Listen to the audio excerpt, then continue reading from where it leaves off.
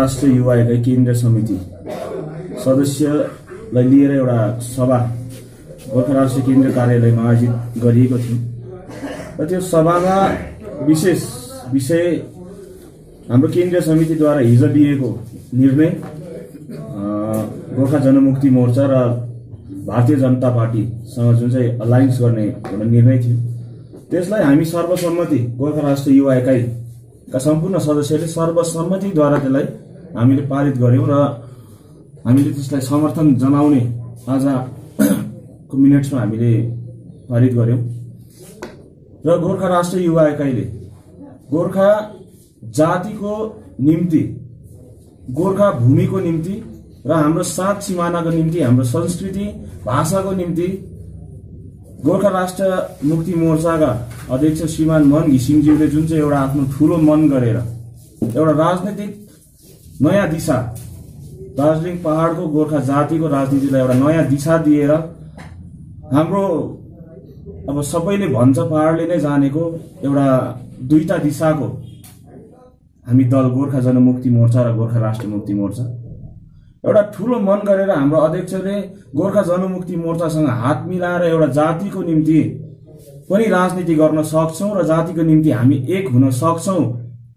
तर गोर्खा जनमुक्ति मोर्चा बी टिएमसी पार्टीसँग मिल्न सक्छ भने हामी भारतीय जनता पार्टी र गोर्खा जनमुक्ति मोर्चासँग मिल्न सक्छौँ किनकि गोर्खा जनमुक्ति मोर्चाले पनि जातिकै हित चाहन्छ र हामी जातिको हित चाहने दलहरू किन नमिल्ने भन्ने जुन चाहिँ सोच बोकेर अगाडि गएर गोर्खा जनमुक्ति मोर्चासँग हात मिलाएको छ र एउटा देशलाई नै एउटा नयाँ इतिहास गोर्खे सन्तानले कोरेको र गोर्खे सन्तान पनि आज एउटा एकताको सूत्रमा बाँधिन सक्छ भन्ने जुन चाहिँ सन्देश दिनुभएको छ त्यसको निम्ति हामी गोर्खा राष्ट्रिय युवा एकाइको तर्फबाट हाम्रो अध्यक्ष श्रीमान मन घिसिङज्यू साथसाथै उहाँका सहकर्मी गोर्खा राष्ट्रिय केन्द्र समितिका सम्पूर्ण सदस्यगणलाई हामी मुरी मुरी धन्यवाद दिन चाहन्छौँ र दार्जिलिङ पहाडको राजनीति यसरी नै अगाडि बढेर हामी आफ्नो लक्ष्य फत्तै गर्न सफल हुन्छौँ भन्ने हामीले आज एउटा नयाँ लेसन पाएका छौँ र हामी हाम्रो अध्यक्षलाई र हामी आज गर्व गर्छौँ कि हामी अध्यक्ष मन घिसिङको नेतृत्वमा छौँ हरियो झण्डाको नेतृत्वमा छौँ र आज हरियो झण्डाले र गोर्खा जनमुक्ति मोर्चा दुईटा वृहत दल दार्जिलिङको वृहत दलले आज एउटा नयाँ इतिहास कोरेको छ।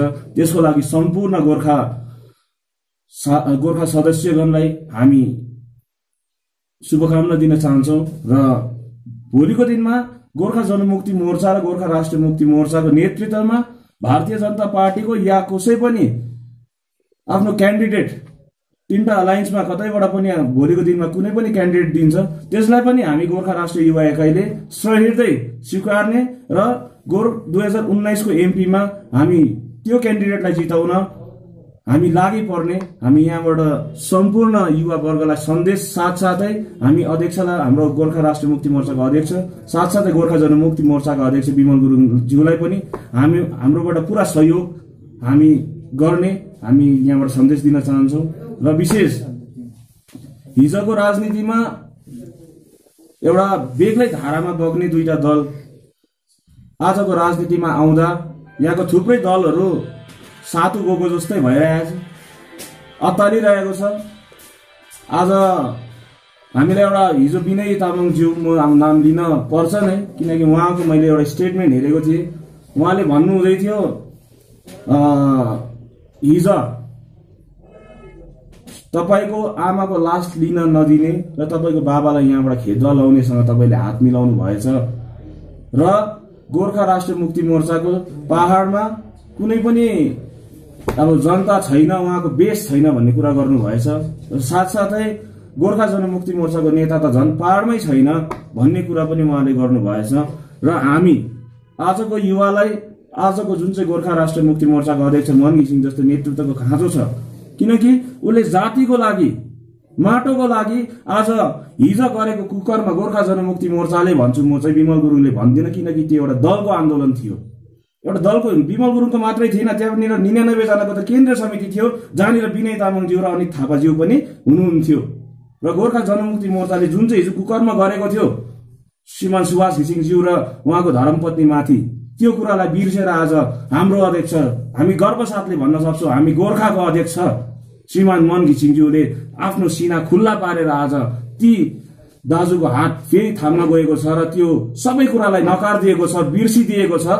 किनकि गोर्खा राष्ट्रिय मुक्ति मोर्चाले जाति माटोको हित चाहिरहेकै थियो चाहिरहन्छ र जबसम्म हामी लक्ष्यमा पुग्दैनौँ हामी लडिरहन्छौँ भन्ने आज फेरि एउटा हामीलाई एउटा नमुना पेश गरेको छ। त्यसको लागि त हामी गर्व साथ म फेरि भन्न चाहन्छु हामी गोर्खा राष्ट्रिय मुक्ति मोर्चामा छौँ। अध्यक्ष मन घिसिङको नेतृत्वमा आज हामी माटोको लडाइँमा जातिको लडाइँमा लागि परेको छौँ भनेर हामी भन्न चाहन्छु र विनय दाजुलाई म एउटा रिक्वेस्ट गर्न चाहन्छु निवेदन गर्न चाहन्छु हामी राजनीतिमा तपाईँहरूभन्दा धेरै फुच्चे। तर आज गोर्खा जनमुक्ति मोर्चाको विमल गुरुङ ज्यूको टिम र गोर्खा राष्ट्रिय मुक्ति मोर्चा साथसाथै गोर्खा राष्ट्रिय मुक्ति मोर्चा र गोर्खा एक हुँदाखेरि प्रताप खातीज्यूले पनि स्वागत योग्य उहाँले स्वागत जनायो र धेरै जस्तै एनजिसीले आज भोलिको मिटिङ सार्दैछ आज त मिटिङ सार्यो।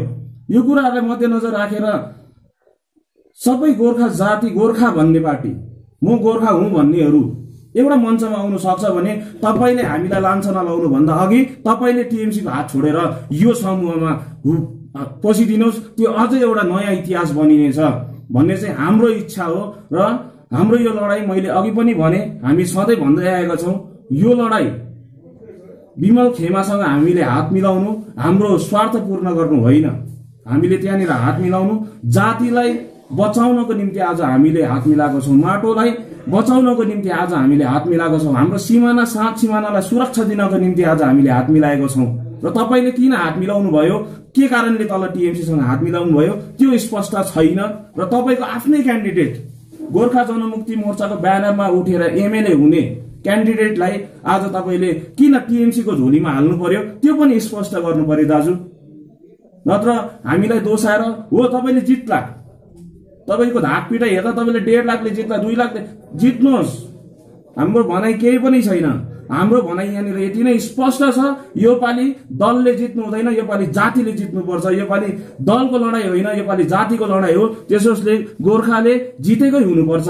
तपाईँले पनि जित्नुहोस् तर टिएमसीले जितेको हुनु हुँदैन गोर्खाले जितेको हुनुपर्छ।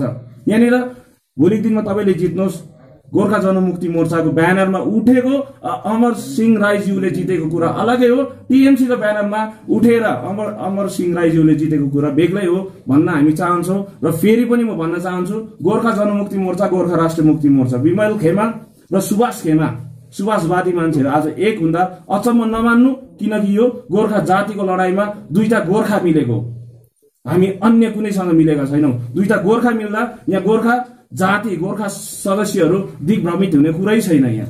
आज हामीले गर्व गर्व गर्नुपर्छ कि आज दुईटा गोर्खाको जात गोर्खा जातिको निम्ति लड्ने दुईटा दल एक भएको छ।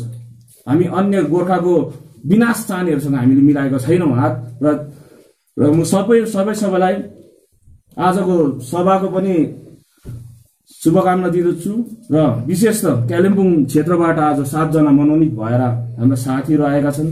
र विशेष उहाँहरूलाई पनि केन्द्रीय समिति सदस्य कालिम्पोङ वर्किङ कमिटीले दिएकोमा म वर्किङ कमिटी कालिम्पोङलाई पनि धेरै धेरै धन्यवाद दिँदै र उहाँहरूलाई पनि केन्द्रीय समिति सदस्य बनिएकोमा शुभकामना दिँदै र कालिम्पोङमा हिजो के थियो कस्तो थियो त्यो अब त्यो हिजोको कुरा भइगयो र यी सातजनालाई आज हाम्रो पक्षबाट हामी निवेदन गर्न चाहन्छौँ अबको कालिम्पोङ हिजोको कालिम्पोङ नहोस् अबको आजको कालिम्पोङ र हिजोको कालिम्पोङमा कुनै मतभेद थियो भने अब त्यो मतभेदलाई हटाएर योपालिको लडाइँमा जुन चाहिँ हाम्रो भनाइ छ एउटा दलले होइन जातिले जित्नुपर्छ भन्ने जुन चाहिँ लडाइँ छ त्यो लडाइँमा सबैलाई सहभागिता बनाइदिनुहोस् र म सबै सबैलाई जनतालाई विशेष त जनतालाई म भन्न चाहन्छु योपालिको लडाइँ स्वार्थ बनाम स्वाभिमानको लडाइँ हो र हामीलाई आशा गर्छौँ तपाईँहरूको पक्ष स्वाभिमानपट्टि हुन्छ स्वार्थपट्टि हुँदैन र योपालि दुई हजार उन्नाइसमा साँच्चै नै गोर्खा जातिले जितेको हुन्छ भन्ने हामी आशा राख्दै सबै सबैले विचार गरेर मत खसालिदिने हामी निवेदन गर्न चाहन्छौँ। धन्यवाद।